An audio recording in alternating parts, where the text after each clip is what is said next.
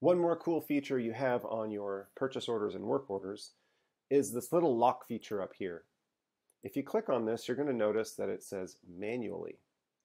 Card will change order status automatically or manually. Now by design and by default, everything is going to be automatic mode. And that means that it's going to follow along the lead time and the cards will move from one position to the next based on the lead time determined in the PO or the work order.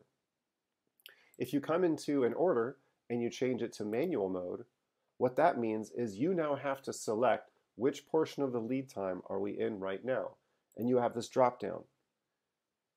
So let's say I'm still in ground freight mode. I can move it back and you notice how my card moved back into the en route column.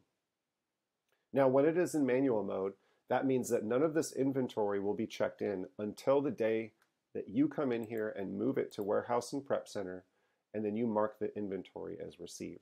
None of this inventory will be automatically received.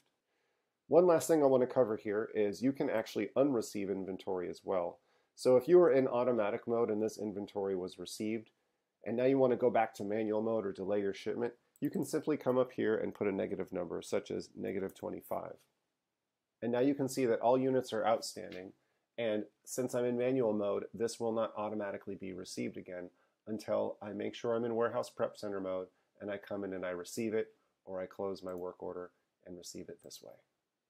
Mm-hmm. So choosing between automatic and manual mode can help you to control your lead times and when your inventory is checked into warehouses.